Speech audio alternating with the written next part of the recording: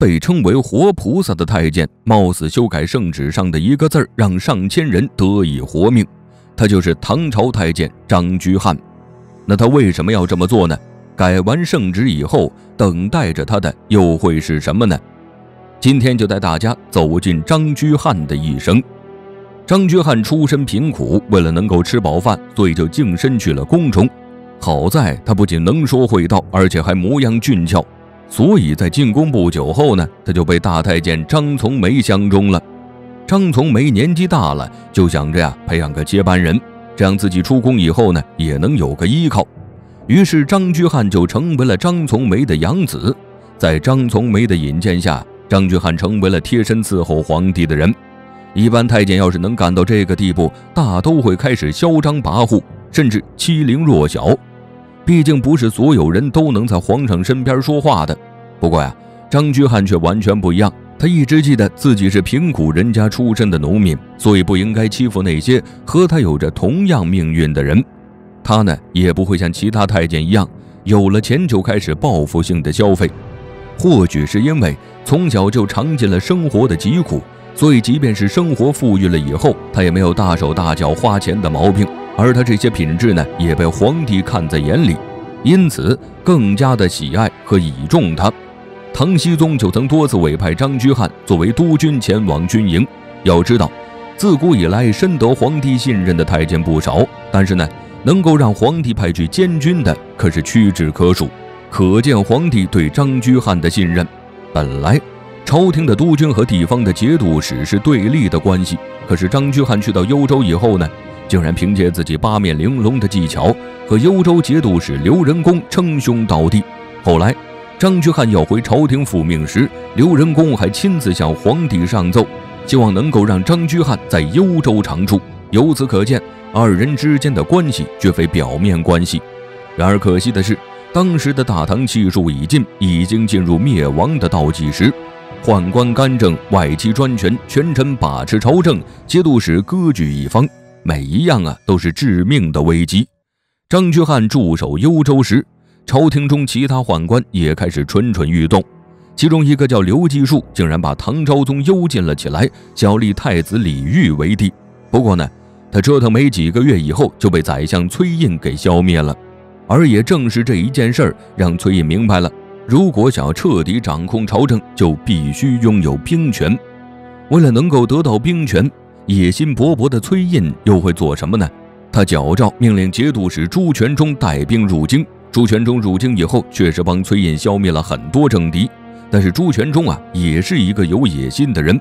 当时他的人马已经进了京，他又怎么会甘心屈居于他人之下？于是直接带兵把持了朝政，皇帝再次成为傀儡。由于朱全忠十分厌恶宦官，特别是他还和督军的宦官闹得十分不愉快，所以他就让皇帝把在外督军的太监召回，并全部斩杀。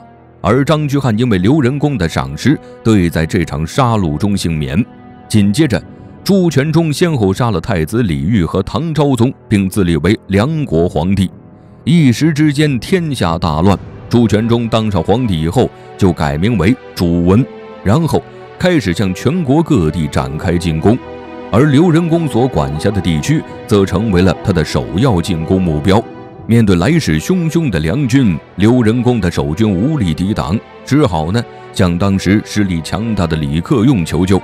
面对强大的梁军，李克用决定采用围魏救赵的计谋，他带兵进攻滁州，让梁军回援，以解刘仁恭之困。在此情况下，刘仁恭派张居翰领三万人马协助李克用攻打滁州，在这一场战役里，张居翰也充分地展现了自己的军事才能。运筹帷幄的他，很快就和李克用一起攻下了滁州。朱温听到滁州失守的消息以后呢，也有些慌了，他立刻带兵回援，刘仁恭的危机得以缓解。这一次的战役也让李克用对张居翰十分赏识。他让张居翰留在自己身边，成为自己的心腹，并派他作为监军，调拨兵马归他使用。张居翰呢，也没有辜负李克用，他不但认真训练士兵，还在农忙的时候带领士兵一起去帮助当地的百姓，赢得了百姓的赞誉。这也让李克用的名声越传越广。之后，重整兵马的朱温再次派遣大将来围攻楚州，准备将张居汉等人一网打尽。面对十万梁国大军，张居汉也是十分焦急。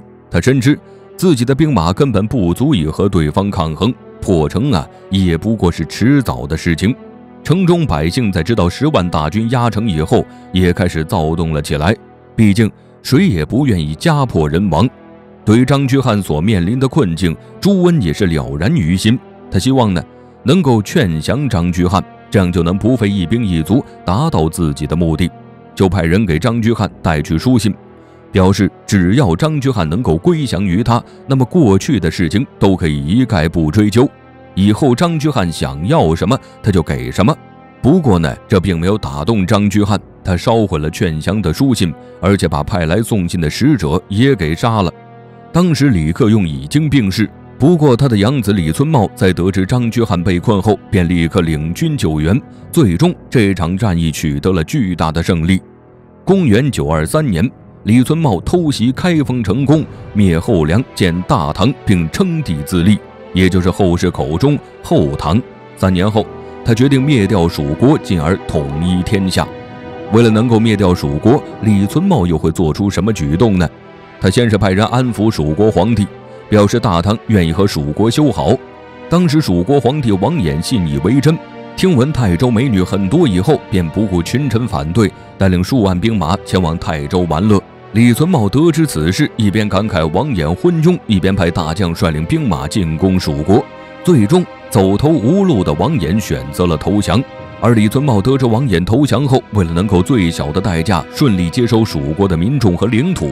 便派人去安抚王衍，并许诺会善待王衍的家族。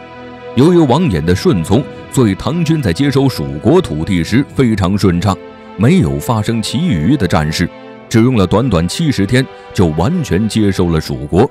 可就在王衍等人被押往洛阳的路上，李存茂接到了李嗣源等人反叛的消息。此时啊，有人向李存茂表示，由于叛军声势浩大。所以，李存茂应该派遣全部的力量抵挡。而李存茂等人在蜀国根基深厚，如果此时他们也支持叛乱的话，只怕会出大乱子。不如将王衍等人也杀了。李存茂听了以后也觉得有道理，于是下令王衍一行并宣杀戮。张居汉得知此事后有些不忍，他觉得王衍在蜀国时昏庸无道，如今处死也是死有余辜。可是王衍手底下那些人是无辜的呀，更何况，如果皇帝诛杀王衍一行人的这件事儿传出去了，那一定会为李存茂引来恶名的。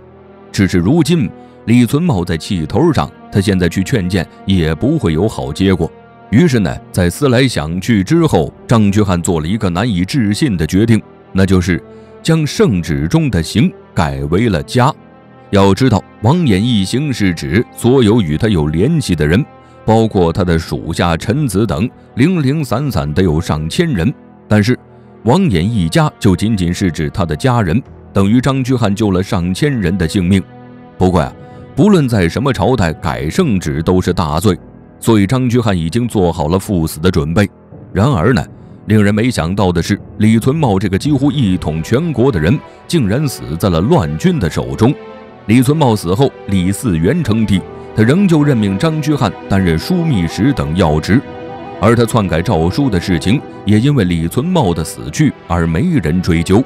李嗣源称帝后没多久，张居汉就辞官回乡了，最终在家乡活到了七十一岁才病逝，也算是好人有好报。